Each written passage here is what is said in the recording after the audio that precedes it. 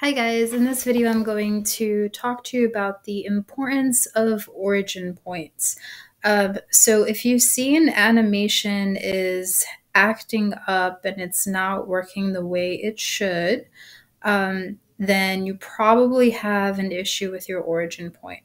So here in this example, you can see that the dancer kind of goes all over the place and he should be standing in one place animating. Uh, so that way it looks like he's dancing um, and everything else seems to be working perfectly. So let's see how to fix that. So if you double click on the image um, and you just click on the image point icon here, it's difficult for you to see where the image point is. So I suggest zooming all the way out until you see this little crosshair button. So you can see that the image point is all the way down here. And for this one, it's over here. For this one, it's here. So basically what the system does is it tells, uh, it's basically saying that the picture is over here as opposed to over here. So that's why the animation doesn't quite work.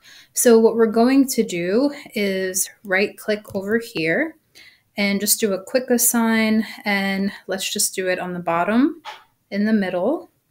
And I did that for zero. And then I'm also going to right click again and apply to all animations. So that way, when you click on number one and two, you'll notice that the little icon is in the same exact spot.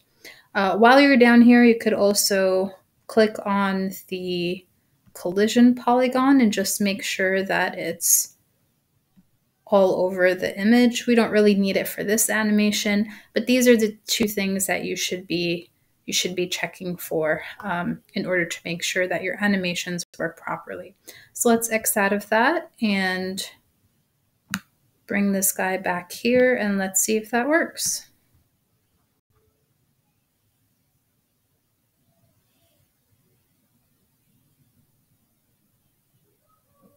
All right, so you can see that he is dancing in place. Uh, so that means that the animation is working properly. All right, so hope that helped.